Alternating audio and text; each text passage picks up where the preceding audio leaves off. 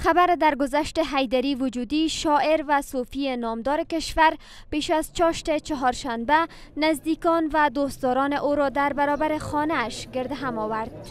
وجودی بامداد همین روز به علت بیماری که داشت به عمر 81 سالگی چشم از جهان بست. کسی که یک عمر زندگی خود وقف خدمت به فرهنگ و تاریخ و کلتور و ادب و شعر کشور کرده و کتابخانه آمد به مسابه مرکز اشاعه پخش و نشر درس های مصنوی و مرکز یا به تعبیر باتوق دردمندان و شعرا و نویسندگان و هزاران دردمندی بوده از حیدری وجودی اثرهای زیادی در بخش شعر و عرفان برجا ماندند که از این میان چهارده کتاب چاپ شدند.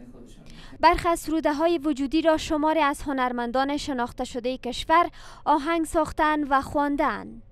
نزدیک به نیم قرن به کتابخانه آمد کار کرد.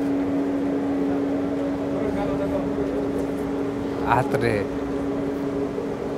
دفتر رفتن استاد واقعا زایی بزرگ است یک گرده از پژوهشگران استاد حلقی وصل میان